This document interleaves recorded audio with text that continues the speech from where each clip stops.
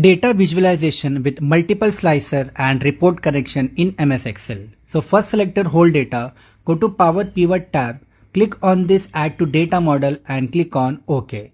Now create a new column and rename it to month. Click on this formula bar and type here equals to format bracket open. In value select all the range of this date comma in format double inverted comma open type 4 times m double inverted comma close bracket close and enter. Now as you can see it's showing all the name of the months in this month column. Now click on the drop down of pivot table and select two charts horizontal.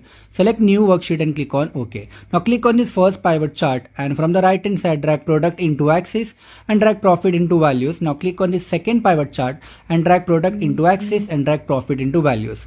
Right click on country and select add as a slicer. Right click on month and select add as a slicer. Now click on this plus icon on data label for both the visual. Now first right click on this first slicer, select report connection and tick on chart on and click on OK. Now right click on the second slicer and select report connection and tick on the chart to and click on OK. And that's it. Now the first visual will show you product wise total profit according two country wise slicer and the second visual will show you product wise total profit according to month wise slicer. Don't forget to save for future reference. Thank you.